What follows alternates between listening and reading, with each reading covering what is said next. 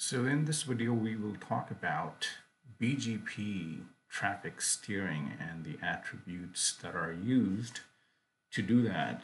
In the previous video for OSPF we talked about how to steer OSPF traffic and that was using the OSPF cost and that's about all you can do in OSPF from traffic steering perspective.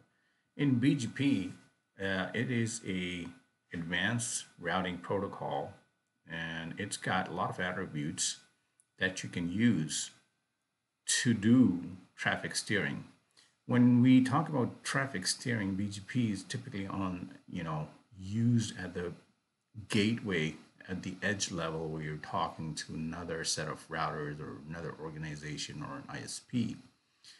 And there's so many ways you can control the attributes or configure the attributes. So if you were to sort it out, the you know sort the attributes out, you know, basically you got the weight local preference AS path and the med, and you can use AS path both in both category. The first category here is when the traffic is exiting your autonomous system. So remember you have an AS and it's talking to other AS, whether it's an ISP or it's a, another set of organization or corp, or if it's a core, what have you.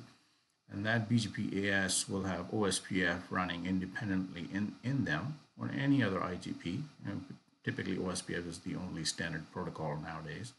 So the BGP AS would use these attributes to determine which way to go out. This way, this way, how do you attract, if you've got a network, how do you attract, and you're advertising to both of them, then how do you attract the traffic for this network, right? Whether you want it to come in from here or you want it to come in from here. Obviously, you know, this is the internet. So to do all this traffic steering and engineering, you gotta think from traffic exiting. How do you wanna make your traffic exit and how do you want to make your traffic enter for a given network. If you've got ton loads of network, you can have net 1 come in through here, net 2 come in from here, and so on and so forth. So you can do all this through BGP attributes.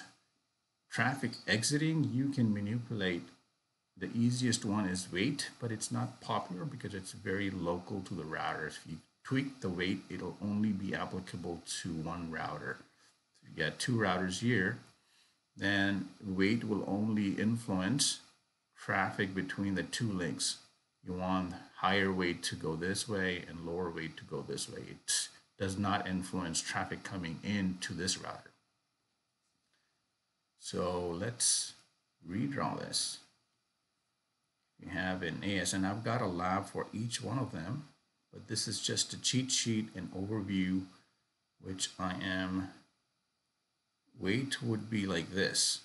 You got two links from the same router but if you got two routers then weight would not help you control the exiting traffic.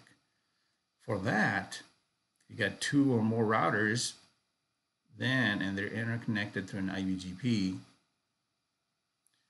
you would need to use local preference to influence your traffic going out. So you set the local preference on this router and it would influence this guy to say, hey, I am better. So when the traffic hits you, send it this way. That's local preference. And you can do the same thing with AS path and that would be working as import for the routes. You just prepend in and it will influence the traffic going out.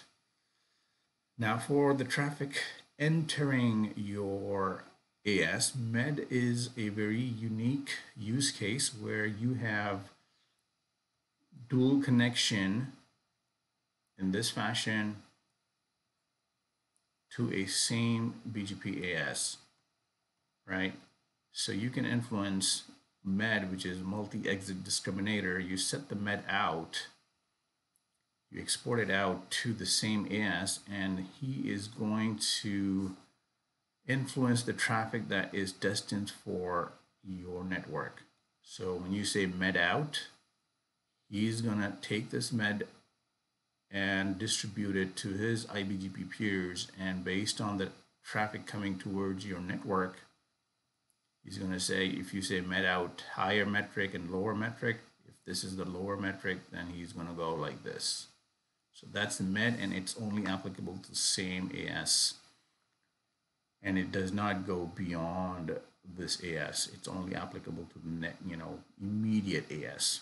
As you know, as far as the AS path is concerned, you can influence the traffic beyond this AS. So if you prepend out, if you add send AS paths, remember BGP. Uh, I'm assuming that you know the basic uh, BGP. BGP works on AS path length. That's the default it looks at the AS path, and I'll go through this with the lab, but AS path length is its basic cost, the default cost, just like in OSPF, there's a cost.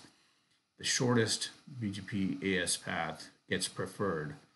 So you can prepend, add AS paths to influence traffic coming into your network. So AS path is therefore much more popular to be used because you can do both exiting influencing and entering influencing using ASPath. And uh, the next uh, few videos, I'll make a video for weight, local preference, and then ASPath as well as MED with the topologies. And then we'll configure this and see how that works. Hope this helps.